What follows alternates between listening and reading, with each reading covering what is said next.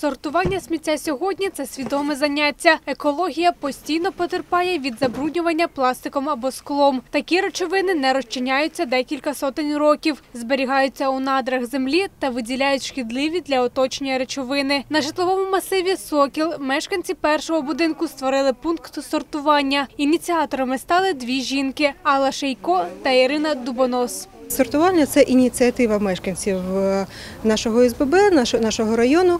І, в принципі, зараз відбувається черговий прийом вторсоровини. Тобто це усе, що можна відправити на переробку. Два роки тому Алла та Ірина створили пункт сортування вторинної сировини. Щотижня до пункту мешканці району приносять чисте сміття та складують його за певними категоріями від пластикових пляшок до контейнерів з-під йогурта. Таких категорій зазначає Ірина більше 40. Коли у нас збирається певний об'єм, ми тоді вже викликаємо авто. Е, Ми співпрацюємо з громадською організацією Екопатруль. Вони приїздять до нас і ми завантажуємо всю сировину, яку ми зібрали. Їм вони нас вивозять. У пункті приймають тільки сировину, що можна переробити. Є певні категорії, які ми не приймаємо. Наприклад, там дуже тонка фольга, її нема ніде поблизу підприємства, які щось з нею роблять. Тому ми не можемо це приймати. Більшу частину сміття становлять саме пакувальні відходи. Пакетики маєчки, вони, вони дуже компактні, коли зжимаються. Але коли виходить два-три здоровезних таких пакети, повністю набитих, на- напресованих цими маєчками, то розумієш, що їх багато. Е, так, е, найбільше, найбільше це все ж таки ну, пакувальня, пакувальня маєчки. Е, Це з підмолочки. Тобто, в принципі, так, це пластик. Це поліетилен та пластик. Це найбільше.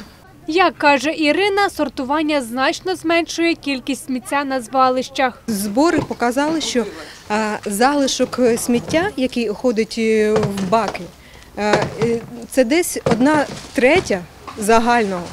Тобто на 70%, на 50% точно зменшується кількість того сміття, що виноситься в баки. Це бо це залишається переважно органіка. Також організатори пункту сортування мають певну вигоду. Вони отримують невелику кількість коштів кожного разу, коли здають сміття на переробку. Алла та Ірина використовують ці кошти на благоустрій будинку. Наша робота вона волонтерська. Це не за гроші. Для нас це не про гроші, для нас це про інше. Але коли паралельно можна ще отримувати якийсь е, фінансовий фінансовий інтерес, і це цікаво, скажімо, і для ОСБ, і для мешканців, тому що це додаткові гроші, які в принципі просто будуть викинуті. Окрім пункту сортування на житловому масиві Сокіл, є й інші. В Україні існує національна мапа пунктів прийому вторсировини. Проект розробила команда всеукраїнського молодіжного руху Let's Do It Ukraine. Створення мапи воно виникло із потреби, а, тому що е, ну навіть активісти щодня зіштовхуються з тим, що пункти, е, куди можна здавати вторинну сировину, вони відкриваються, закриваються. Іноді ти знаєш, що пункт працює. Ти йдеш на роботу або в школу своїми пакетами відсортованого, навіть після вихідних, після свят. Приходиш, а пункта вже немає, або він зачинений. Національна мапа пунктів приймання вторинної сировини дозволяє жителям Дніпропетровщини за лічені секунди знайти, додати або прибрати точки збору в будь-якому місці. Ми фактично щодня моніторимо мапу, і е, тут е, кожна людина, якщо її пункт закрили, і або вона прийшла по на пункт, а його вже ну якби він вже не існує. Він може подати е, він або вона можуть подати заявку на те, щоб видалити пункт. Тоді волонтери перевіряють, чи правда то. Той пункт уже зачинений, не працює декілька днів, і тоді прибирають з карти, щоб він не вводив в оману. Знаєте, коли висить на, на сайті. На платформі наявні рекомендації, основні правила поділу сировини на фракції, деталі маркування та розвінчування міфів, що дозволяє уникати типових помилок, економити час та підвищувати ефективність екожиття громадян. Є особливість інформації, яка подається на мапі. Це е, пункти, їхні адреси, контактний телефон обов'язково. І ми всім радимо, якщо ви хочете здати, обов'язково зателефонуйте перед тим, чи є там пункт, чи можна ще зараз, чи вони сьогодні відкриті.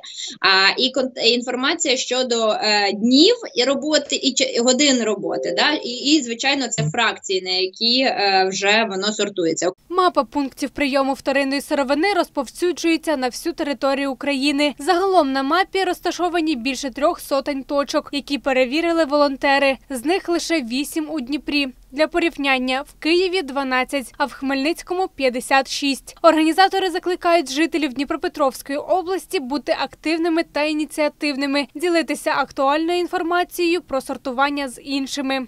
Анна Радківська, Ілля Ломовський. Новини 9 каналу.